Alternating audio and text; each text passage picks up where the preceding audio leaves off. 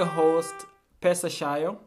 And this is the place where we believe that every single marriage out there has the chance to be awesome and fulfilling. Yes, every marriage has a chance to be awesome and fulfilling.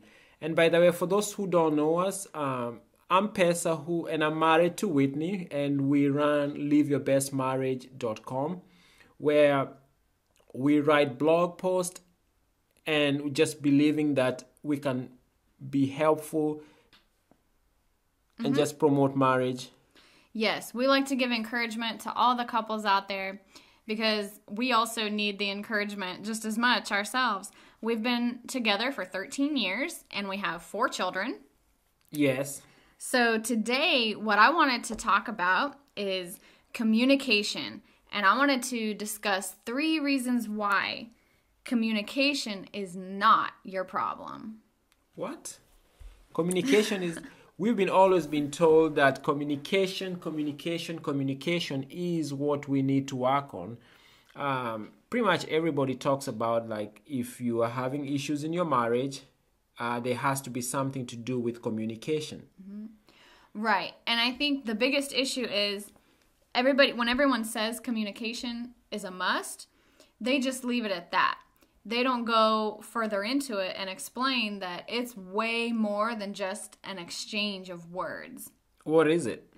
It's it ha- you actually have to hear your spouse. You actually have to listen to what they're saying. And all and the three reasons why communication is not the problem. Number 1, if I don't agree with the reason why my spouse is upset.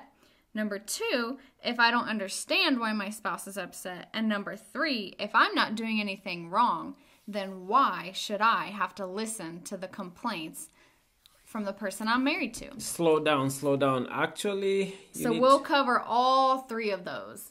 okay. What were those things again?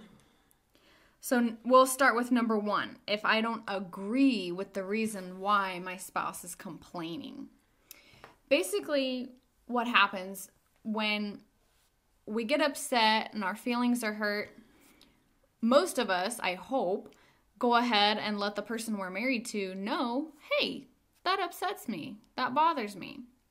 Um, sometimes we do, sometimes we don't, because um, you might um want to tell the other person that what they did upset you, but at that moment they're actually not even in a in a mood to hear what you're saying. Right. So in that case, it's not a communication problem, it's a listening problem.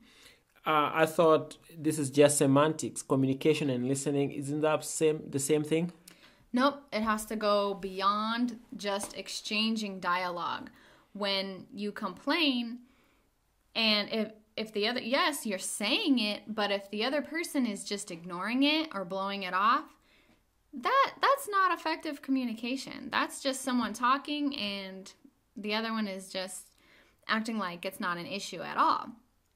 So this first thing that I that we need to break down is if I don't agree with the reason my spouse is upset. So sometimes what'll happen is when one if a I'll just say the wife for example because I'm because I am a wife. something might upset me Yes. and then when I talk about it, my husband might react like, okay, how is that a problem? But the thing is, he is supposed to react with compassion and understanding. Even if he doesn't really agree with it, he might he might be thinking, okay, seriously? She's mad about that? But what's her problem? But the deal is, he's even if he doesn't agree with me, he needs to go ahead and say, "Okay, you know what? I I totally get what you're saying and I think we can work this out." So even if I don't agree with you, I should just agree with you, right? No, no. You don't have to agree. You can say, "Okay, you know what? I really don't think that's an issue. Okay. I don't or I can say, "You know what? I really just don't think that's a problem or I don't feel like I did anything wrong." Yes. But because you're so upset, I'm going to go ahead and just take that into account and we can make a compromise. We can talk about this and we can figure out a way to get this issue resolved. But unfortunately, we we do have some friends who they if they don't agree with the reason their their spouse is upset, they don't think there's a problem at all. And one example I can give you is there was a couple having trouble with pornography within their marriage. One was watching it, the other one thought it was a huge, huge, huge betrayal, actually. More than just a problem, a huge betrayal. Okay. So the hu- the husband was the one doing the watching and the wife was the one doing the complaining. Okay. But the husband was like, "What's the issue? I have not cheated. Why is she complaining? Why is she so mad about this?" Okay. But the wife was like, "Uh, no, excuse me. That just makes me feel like crap for obvious reasons." But the husband was still refusing to even acknowledge this issue. So, the point I'm trying to make is even though he did not agree with her reason for being upset, as her husband, it was still his obligation to at least say, okay, you know what, honey? This obviously bothers you, and we need to figure out a way to get this resolved. Yes. And I mean, the pornography thing just to me sounds so much of a no brainer that, hey, I don't see, I don't know how to put it, but with the pornography, I just see it like she had a point. But I think most of the um, the fights and um, a lot of problems people have is when we it's not just on the i think the problem will come when um, we have issues which are like in the gray area Right. because pornography is like way out there that Mm-hmm. it's like duh that just why are you doing that Right. but what about something that can you give an example where something is so much on the gray area where Mm-hmm. one spouse can feel uh, this way the other pa- spouse can feel the other Mm-hmm. way and it's Okay, well, first of all, to you, Yes. the pornography issue is just black and white. You're like, okay, it's either right or it's wrong. You either just you should just not do it. yes But uh, apparently, to this husband, it, that was in the gray area. It was questionable. So because okay, uh, that's like in the movie um fireproof right Fireproof. Oh, oh yes, in the movie Fireproof, the husband was also dealing with. was it fireproof yeah, yeah. Caleb, Yes. the firefighter, had a problem. He would, he was watching it on the computer. By the way, that movie is awesome. We've watched it several times, and we just will recommend it to every couple, any Mm-hmm. couple. You don't have to be going through any issues. Fireproof, and what's the, the other one that they were praying? well, the one that we we re- that really affected us was War Room. War Room. Wow, Yeah. that movie was crazy. We loved it so much. Yeah. Uh, do we have it? We don't have it. We rented it on YouTube. But Okay. anyway, going Anyways. back to answering your question, your question was okay, well, what about the issues that are in the gray area where one spouse is is like, um, yeah, that's a problem, and the other one is like, uh, no, not really. Well, an example I have for you is when my husband and I were younger, a couple moved in next door to us, and the husband had a lot of female friends. I became a good friend of the wife, and so she would tell me these things. She would say, "You know, I just think it's so ridiculous that you know he he goes out with these friends, but I'm not invited." And she stayed at home to take care of the baby. But the husband totally did not understand how this could be a problem. And so basically, him not understanding it, he just totally ignored it. He's like, okay, I really don't have to listen to her complaining about this. It's okay for me to have friends. I'm not cheating. I'm not doing anything wrong. And she's just jealous for no reason. She's just being immature. Okay. But again, we go back to the same point that I was trying to make earlier. Just because he did not understand why that would bother her, it is still his responsibility to to either try to figure out why she's having an issue with that or come to some sort of compromise. It's I mean, in marriage it is absolutely vital for couples to be able to meet in the middle on some of these things. So, so I, I see your point. Uh, he should not like, eh, and I looked at it from this other point where uh, it seems like he's putting uh, the concerns of his friends before the concerns of his wife. Right. And so the way I viewed that situation, Yes. I viewed it so much more than, oh, well, you know, maybe she should just tag along and make sure, you know, nothing is going on and she can feel included. But I viewed it as so much more than that because I thought, okay, you know what? This guy is actually on a path. Okay. He is actually, What do you mean a path? he is, I guess, figuratively speaking, in life, he is literally taking a road that may not be the best choice for his marriage Okay. in the long run. Okay. You know, I mean, these friends could be influencing him in a negative way. Um, I mean, it, it, it just, it always, I don't know, it always sounded creepy to me that a group of ladies would even want to hang out with some married guy when the wife is not there. I mean, and that, and that's just me Yes. you know so what kind of i mean but it brings the question yes. you know what kind of character do these friends actually have it just that's that's definitely something to take into consideration So what if somebody says, you know what, uh, it's just friends, like what, like what mm-hmm. he would have said, like, hey, they're mm-hmm. just friends, and he's he's more open-minded. He mm-hmm. doesn't think in terms of or the genders. He's just thinking in terms of the person.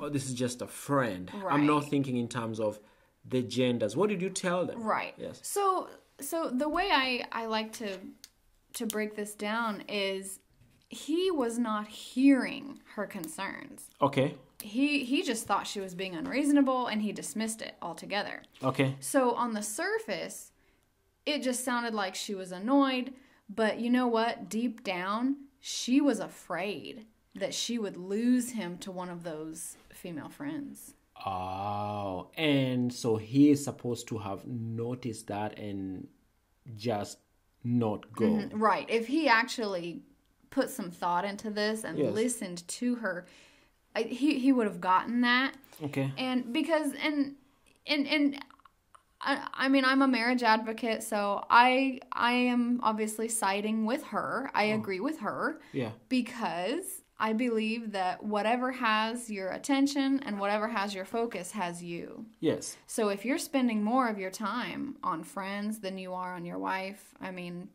to me that's a no-brainer that's that's a recipe for disaster Yes, it's um, and I see uh, I see that uh, this situation has many many layers. It's not just to me. It's not just the communication. There is also like um, what you said about the path. What Right, path like, he's yeah, on. and and some trust issues. There's some and- yeah. issues. And also the idea that are you put who are you putting ahead of your wife? Are you putting like eh, are you do you have friends who you are actually treasuring their friendship more Mm-hmm. than what you treasure like uh, your wife? Mm-hmm. And somebody might say, "Hey, I need some some off time from hanging out with my wife." I, what would you tell them?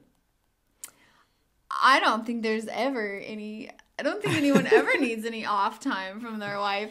No, I mean, hanging out with a group of guys would be different. I think. It, I mean, honestly, I I don't think it's wrong to have friends. I don't want I don't want anyone to get the wrong idea here. But I, if you're you you the, my point is put the needs of your your wife ahead of your own and and definitely ahead of your friends that's for sure but also um people would say people might say oh you know yeah the problem they have is communication they just don't have good communication Yes. but no it is it's a lot more than that if if he would just you know take a few seconds to actually just really listen to where she's coming from then i don't think they would they would have issues like this the So. mhm.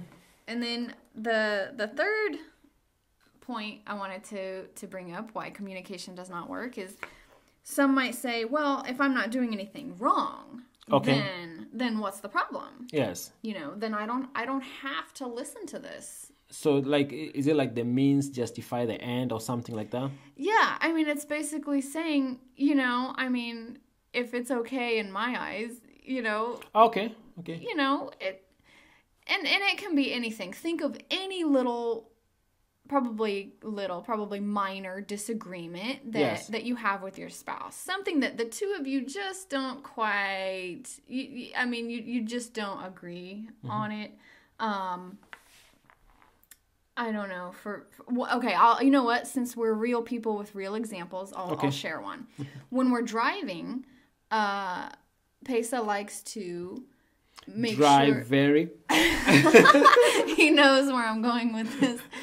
He he does not necessarily see a problem with um Driving you know, very carefully um, and just making sure that right. checking the radio, you know, changing the station, playing music, or you know, if if the phone beeps, oh, what's you know, it it can't be that bad to just take a quick glance at my phone. So what I do is I insist on. I mean, I literally sometimes I grab the phone and I say, okay, hey, if you need me to reply to a text to someone, I'll just type it for you as you're driving.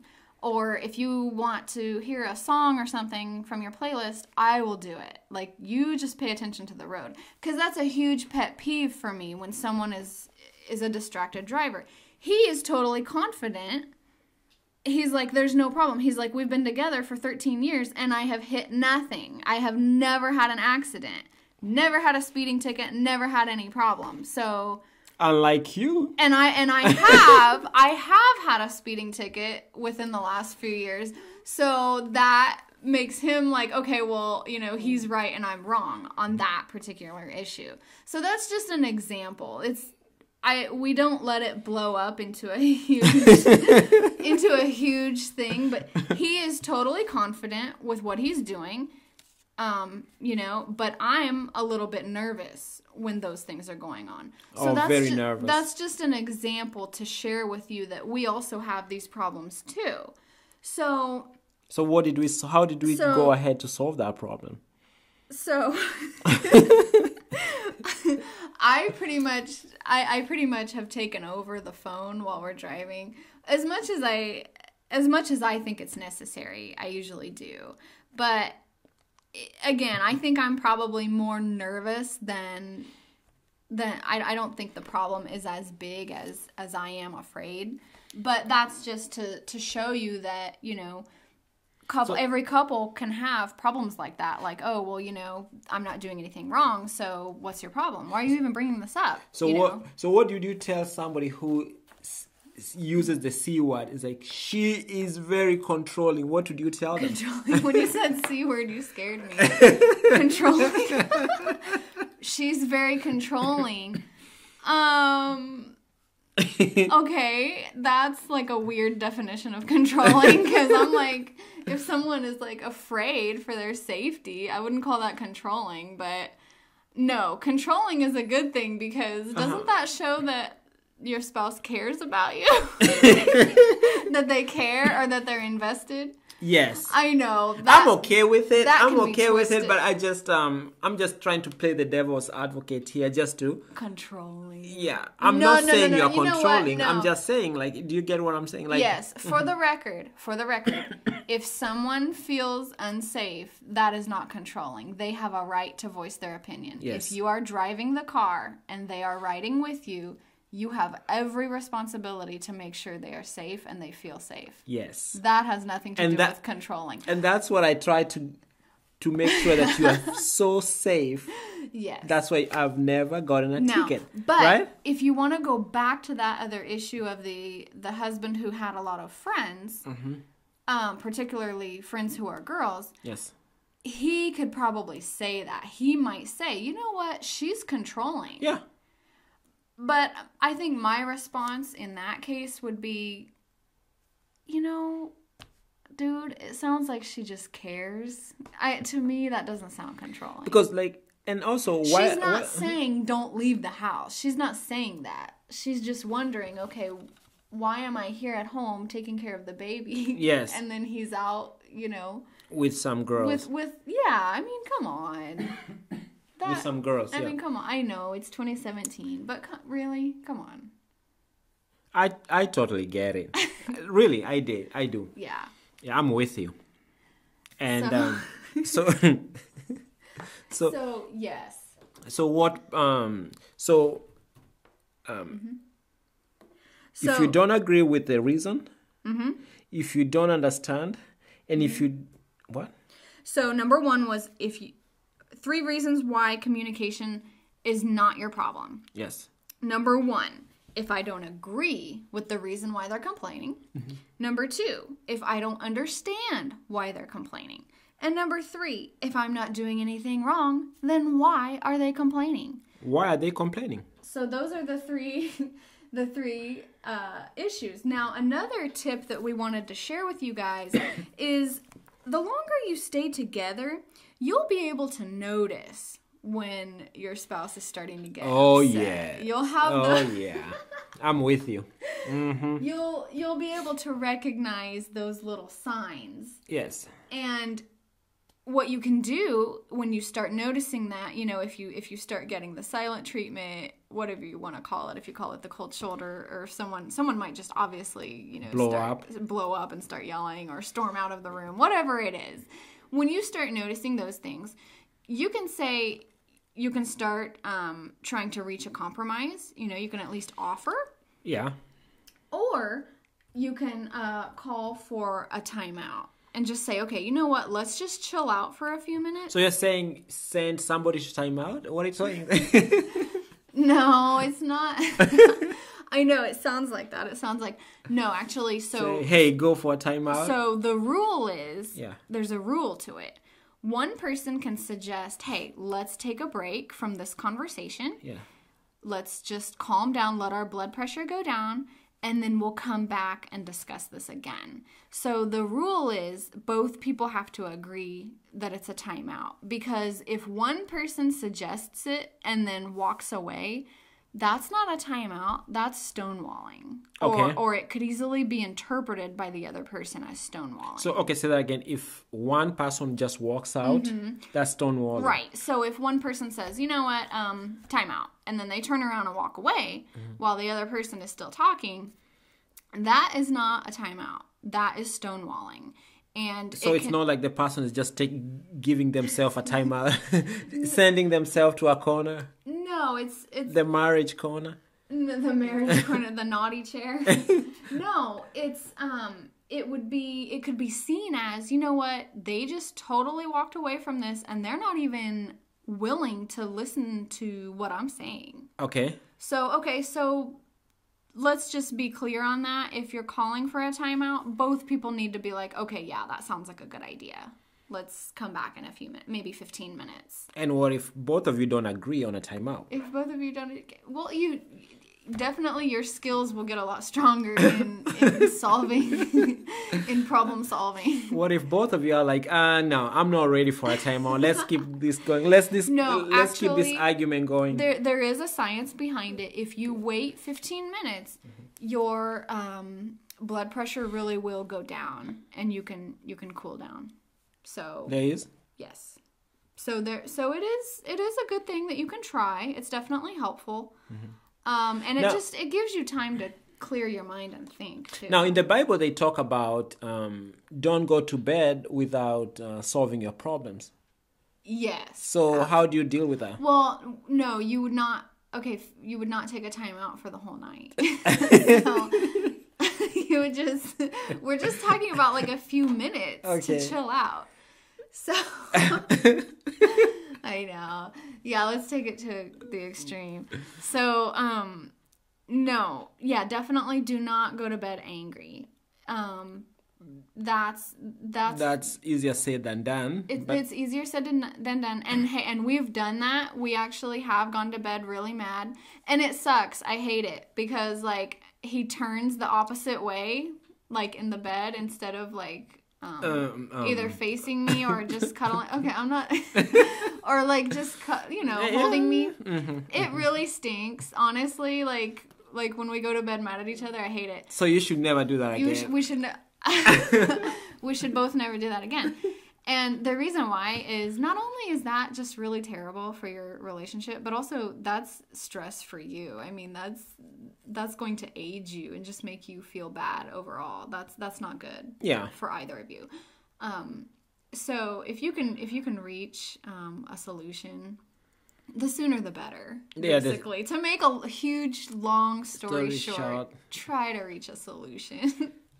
and don't go and don't go to timeout. No, you can go to timeout, but uh, don't go to bed. Um, yes, don't go to bed angry. yes. So, folks, those are the three reasons why communication is not your problem. Number one, if I don't agree with the reason why they're upset. Number two, if I don't understand why they're upset. And number three, if I'm not doing anything wrong, then why are they upset? So, it takes more than just an exchange of words. You need to actually hear the problem.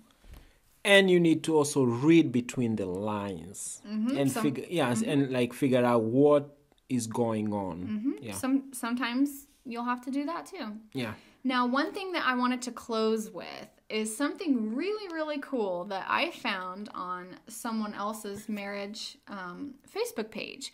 Live Your Best Marriage has a Facebook page. If if you haven't seen it yet, make sure you like it so that you can get all of our awesome tips there too. But this marriage advice came from 1886. What? So I'll I'll read it for you. It's just a short paragraph. It says, "Let your love be stronger than your hate or anger.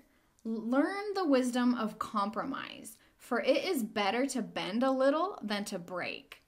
Believe the best rather than the worst. People have a way of living up or down to your opinion of them. Remember that true friendship is the basis for any lasting relationship. The person you choose to marry is deserving of the courtesies and kindness that you would bestow on your friends. And please hand this down to your children and your children's children. The more things change, the more they are the same. So that was written by Jane Wells in 1886. So I just thought that was a really cool little piece of advice and I, Oh, I just I had to share it. And so if I could print that out and hang it on my refrigerator or something, and then next time we're in an argument, I'll just read it. I think that could help me chill out. Oh, okay, yeah. What do you think? I think I'll print it for you. print it for me, yeah. So anyways, folks, I am so glad you you decided to listen to us today and we cannot wait to bring you another message. We will be back again next week. Thank you so much. And uh, again, if you you can always follow us at uh, Pesa Shire on Twitter, and Whitney is at at Whitney Shire. And uh, you can also follow our podcast on iTunes and also on SoundCloud. And until next time, don't forget to read the Live Your Best Marriage uh, com